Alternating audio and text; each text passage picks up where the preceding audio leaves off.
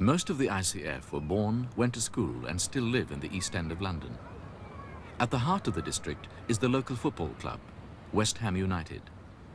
Ironically, West Ham's heavy industrial past of ironworks and docks is remembered only by the nickname of the club, the Irons.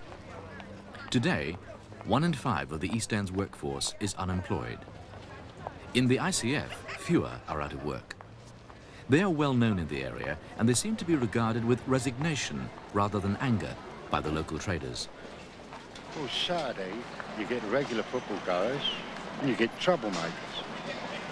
Consequently, people get frightened, they won't come out shopping while the football crowds are coming in or coming out. Apart from that, I mean, the football fans themselves are not bad. It's just the odd marks that don't want to watch football. All they want is aggravation, trouble. If there's a rough team, you know, and they, uh, the police advise to shut down, but when they're going inside, they don't tell anything. But when they come out, they tell us to shut down, you know. Well, it definitely affects the trade because people won't come. That's why we would like to see the football done on Sunday morning or in the evenings because it does affect people are frightened.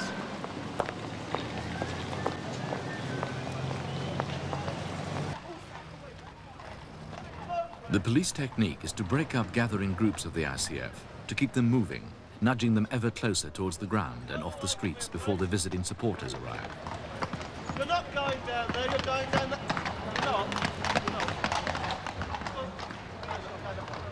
Making the streets safe for the visitors at West Ham is less difficult than at many other grounds. The nearest tube station is only 600 yards from the ground, straight down the main shopping street. The youngest members of the intercity firm are around 17 and known to their seniors as the under fives. The older and tougher members are pushing 30. They claim to be able to pick out the rival hooligans from amongst the ordinary football fans. The ICF are insistent that the ordinary football fan is in no danger from them. It's strictly a hooligan affair. They want the Yids, and the Yids want the ICF.